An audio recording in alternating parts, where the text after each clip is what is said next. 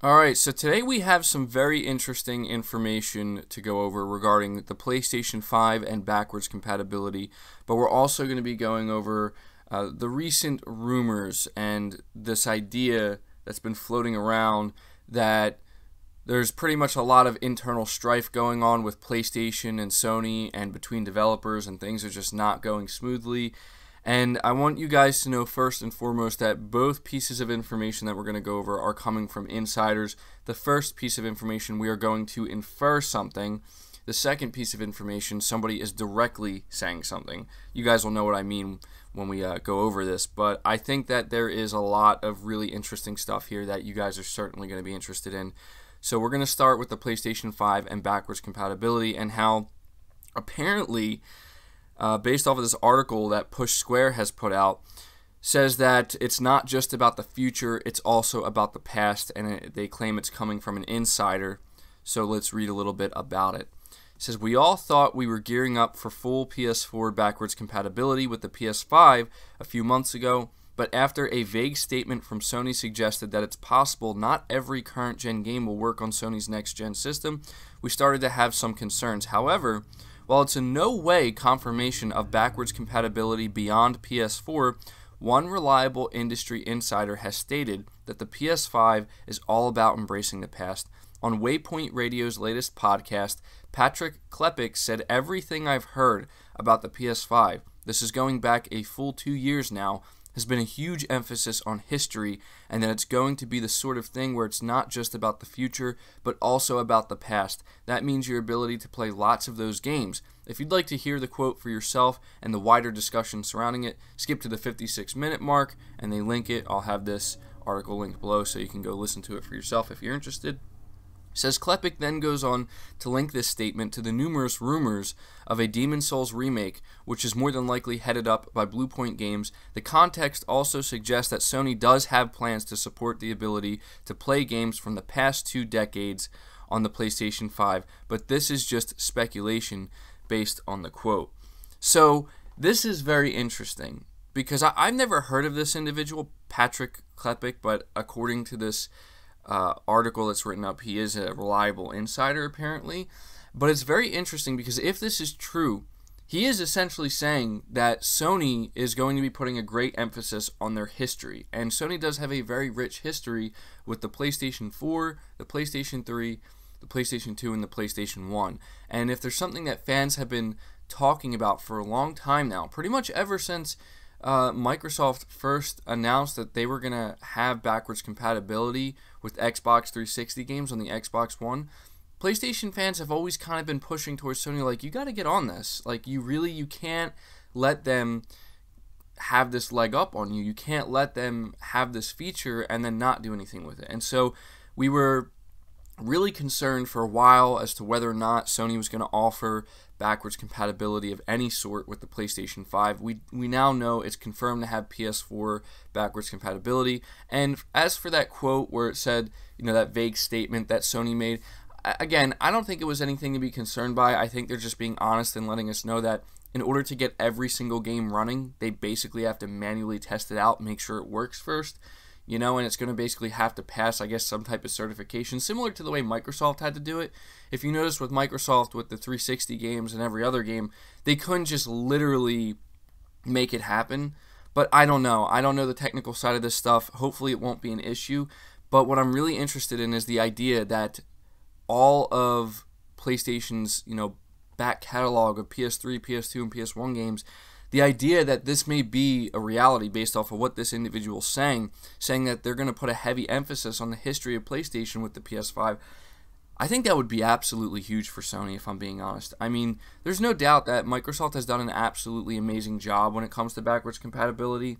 Um, and the reason why they've done this is because they knew it was one area where Sony was struggling and Sony wasn't pursuing it, so they took advantage of it. And now we see just you know how big of a deal it is for Microsoft you know, I'm not saying that people buy new consoles to play old games, but it is a very important feature to a lot of gamers. For me personally, it's one of these situations where it's not going to stop me from buying a new console if there's new games I want to play, but it would it is definitely a bit it would be a huge huge letdown if like PS4 games weren't backwards compatible with the PS5.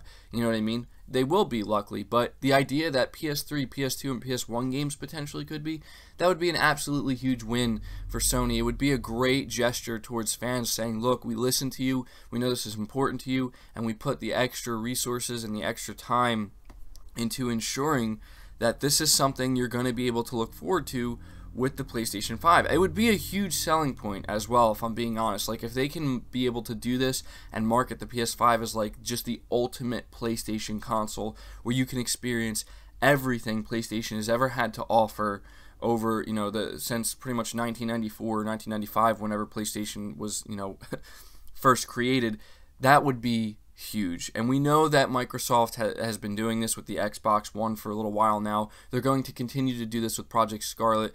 And it would just be crazy for me to think that Sony will not attempt to uh, take them on in this area. It would be crazy to think to me that Sony would just allow them to have this leg up on them and not do anything about it. Sony doesn't seem like the type of company to do that in this area. We know how important PlayStation is to them. So, in my opinion, it really would just make a lot of sense that if what this individual is saying is true, this insider, which I do believe it, it does make a lot of sense. It would be smart. It, it, it makes sense because this is something Sony would want to do in their best interest for their PlayStation brand because PlayStation is pretty much everything for Sony right now. You know, it's their it's their breadwinning uh, business pretty much. So hopefully this is true. I mean, I can't imagine the fan response. I can imagine actually the fan response the day we see the PlayStation 5 officially unveiled and we find out that it has backwards compatibility with every single generation of PlayStation. I think fans would lose it because there's just such a rich history there and it would just be a huge achievement for Sony and frankly something that nobody actually saw coming. And it's also really nice to hear that another person over here basically confirming that yeah, Demon's Souls is being made. It is being remade. I think at this point, like I've been saying, it's kind of obvious, which I'm excited for that, and uh, I'm I'm really pumped for that as well. But yeah, it seems that Sony's not going to be playing uh, playing around when it comes to the PS5. I, again, we don't know if this is true. I don't want to get people too excited. It might not be. This individual might not know what he's talking about. We do also have to understand that he is emphasizing that this was like over two years ago he heard this, which I think is a good thing. I mean, plans can change, and they do change, obviously, dramatically in between that time period. But if you think about it, if Sony were to attempt this undertaking, it would have had to have started years ago because it would be it would not be an easy thing for them to do. And if they want to have it fully ready for the PS5 reveal, it would definitely take some time. So, anyway, before this video gets too long, moving on from that, we're going to go over this article that talks about those PlayStation 5 rumors and the poor communication between Sony developers was basically complete BS, and it just wasn't true. It says that if you've been keeping a close eye on social media and various, various forums over the last couple of weeks, then you may have noticed some rumors popping up with regards to Sony supposedly being stubborn with developers. More specifically, these rumors said that Sony's communication with various studios has been poor, particularly when it comes to getting them involved with PlayStation 5 game development. Naturally, these kinds of rumors can build up a lot of momentum in a short space of time, and given Sony's relative silence over the last year or so, at least with regards to what the company has going on behind the scenes, we started seeing a lot of arrogant Sony comments bubbling to the surface. But it sounds like these potentially worrying rumors were unfounded. Alongside Sony's new PlayStation 5 information drop, the ever reliable Kotaku news editor Jason Schreier uh, has wrote on his Twitter, I did ask a couple of people about some of the rumors last week that Sony was communicating poorly about the PS5, and I heard the exact opposite. One third party developer said that the hardware was excellent and the tools were on time. So, there you go. I mean, if there's anybody who you can really take their word for in this industry who is known as a reliable insider, it is Jason Schreier, regardless of you know how you feel about him as like an individual and what he talks about and everything. I putting all that aside, he has proven that he has contacts, and when he comes out here and gives that insider information, he's spot on pretty much every time. So I think that this is actually really nice, and it's something that is worth taking at least a minute or two here to acknowledge because I, I remember when these rumors, it wasn't that long ago, it was just like a week ago actually, when people were kind of really going off and saying like, oh, MBG and other I guess individuals who talk about this stuff on the internet, they were all telling me, impressing me, like you need to talk about this bad news. You need to talk about Shawn Layden leaving and and the layoffs and the restructuring. And it's like people don't seem to understand that. Like, first of all, I'm not gonna go out here and basically say, uh oh, I think things are falling apart internally at Sony because they're not telling us what their plan is and what their restructuring is. They're not mapping it out for us because they don't need to. This their business. This stuff happens all the time. And to me, the idea that Sony was having like struggles internally with the PlayStation 5 and the PlayStation division, their most important division, to the point where developers are out here basically like, we're confused, like we don't know what's happening. Like it just it didn't something about it just didn't sound right to me. And so yeah, I mean, you know, you have Jason Schreier over here basically saying that he's talked to a few developers who are saying like, no, things are fine. We have the dev kits in our office. The tools are great.